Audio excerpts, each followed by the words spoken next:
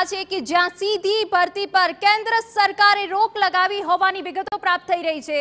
જી હા, સીધી ભરતીનો નિર્ણય પાછો ખેંચાયો છે. કેન્દ્રમાં પિસ્તાળીસ પદો પર સરકારે રોક લગાવી દીધી છે. લેટરલ એન્ટ્રીનો ફેંસલો સરકારે પરત ખેંચ્યો છે, જેનો વિરોધ થઈ રહ્યો હતો, વિપક્ષે પણ વિરોધ કર્યો હતો.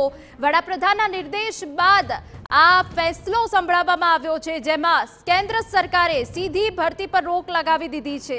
નિર્ણય પરત ખેંચાયો છે. કેન્દ્રમાં પિસ્તાળીસ એવા પદો છે કે જ્યાં સરકારે સીધી ભરતીની રોક લગાવી દીધી છે, તેમાંની એક લેટરલ એન્ટ્રીનો ફેસલો સરકારે પરત ખેંચી લીધો છે. જેનો વિરોધ થયો હતો, વિપક્ષે પણ સવાલો ઉઠાવ્યા હતા. વડાપ્રધાનના નિર્દેશને લઈને નિર્ણય પરત ખેંચાયો હોવાની વિગતો અહીંયા પ્રાપ્ત થઈ રહી છે. તો આપને જણાવી દઈએ, ખૂબ મોટો આ નિર્ણય લેવામાં આવ્યો છે. સીધી ભરતીનો નિર્ણય સરકારે પરત ખેંચ્યો છે.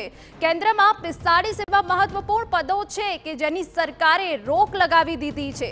જેમાંનો એક લેટરલ એન્ટ્રીનો જે ફેંસલો હતો એ પણ સરકારે પરત ખેંચ્યો હોવાની વિગતો મળી રહી છે. આ બેઠક મળી હતી. વડાપ્રધાનના નિર્દેશ હેઠળ જ આ નિર્ણય પરત ખેંચાયો હોવાની વિગતો મળી રહી છે. તો આપને જણાવી દઈએ કે ક્યાંક ને ક્યાંક જે આ નિર્ણય લેવામાં આવ્યો છે, જે હિતમાં લેવામાં આવ્યો છે, આ પહેલા પણ વિપક્ષે અનેક સવાલો ઉઠાવ્યા હતા. લોકોનો વિરોધ હતો અને તે બાદ સીધી ભરતીનો નિર્ણય સરકારે પરત ખેંચ્યો હોવાની વિગતો મળી રહી છે.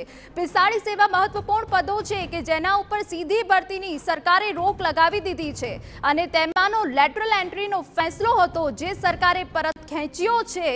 અને આપને જણાવી દઈએ કે આ બાબતે બેઠક મળી હતી અને તે બાદ વડાપ્રધાનના નિર્દેશને લઈને નિર્ણય પરત ખેંચાયો હોવાની વિગતો મળી રહી છે. એ સિવાય સંયુક્ત સચિવ કક્ષાની જગ્યાઓ માટે ભરતી હતી, જે સીધી ભરતી હતી, તેને તે નિર્ણય પર પાછો ખેંચાયો છે.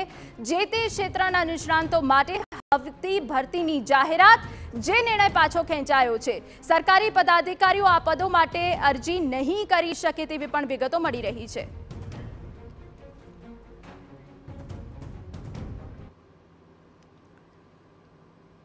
સમાચાર અમદાવાદમાંથી મળી રહ્યા છે કે જ્યાં